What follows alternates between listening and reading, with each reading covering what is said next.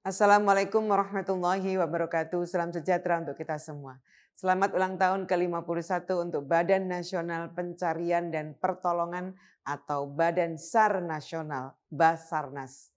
Selama 51 tahun Basarnas menjadi garda depan untuk kerja kemanusiaan berupa pelayanan SAR bagi masyarakat yang mengalami kegawat daruratan, kecelakaan, bencana atau kondisi membahayakan lainnya Basarnas bekerja profesional, tak kenal waktu, tak kenal medan, demi menyelamatkan saudara-saudara kita yang tertimpa musibah.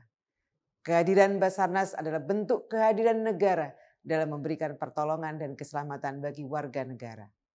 Semoga Basarnas makin kuat, makin sigap, dan makin dicintai masyarakat dalam memberikan pelayanan SAR di tanah air.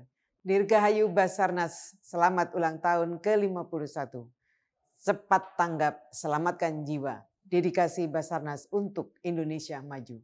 Wassalamualaikum warahmatullahi wabarakatuh.